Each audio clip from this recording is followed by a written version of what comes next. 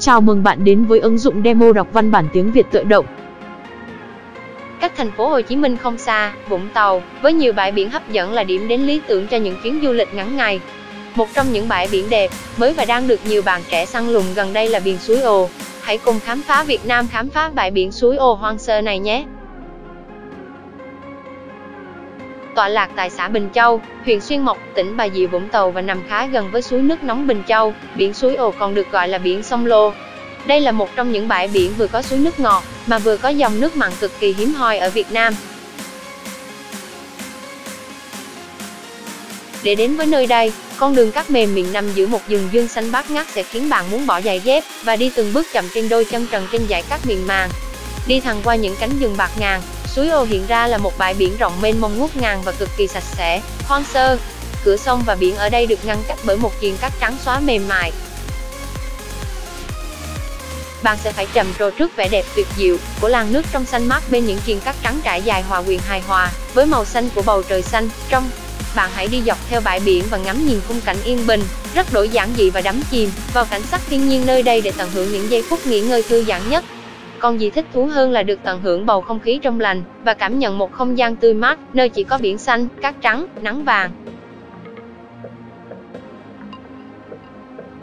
Vì chưa được khai thác nhiều nên biển nơi đây vẫn giữ được vẻ trong lành và hoang sơ đến mức trên mặt biển rộng mênh mông chỉ thấp thoáng lác đác vài chiếc thuyền thúng và thuyền đánh cá nhỏ của người dân đầu ở phía xa bờ cùng vài nhóm bạn đến chơi đùa bên bờ biển.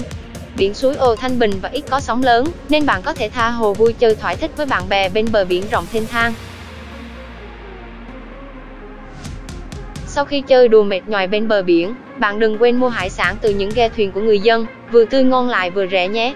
Sau đó hãy nhờ người dân chế biến hoặc tự tay nướng hải sản trên bờ biển để thưởng thức những món ăn hải sơm thơm phức cực kỳ ngon miệng. Nếu đến với Vũng Tàu thì đừng bỏ qua trải nghiệm khám phá bên biển suối ô hoang sơ, trong lành để được tận hưởng một kỳ nghỉ ngắn ngày vô cùng trọn vẹn, với nhiều trải nghiệm tuyệt vời bạn nhé.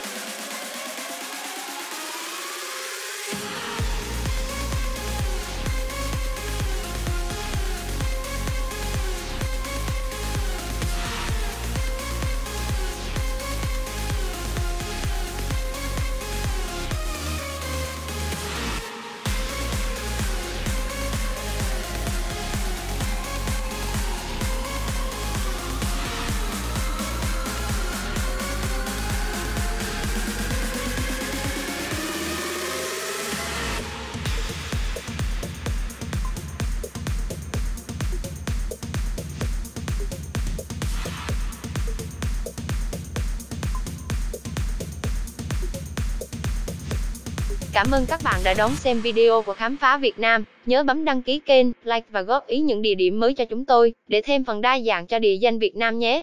Thân ái!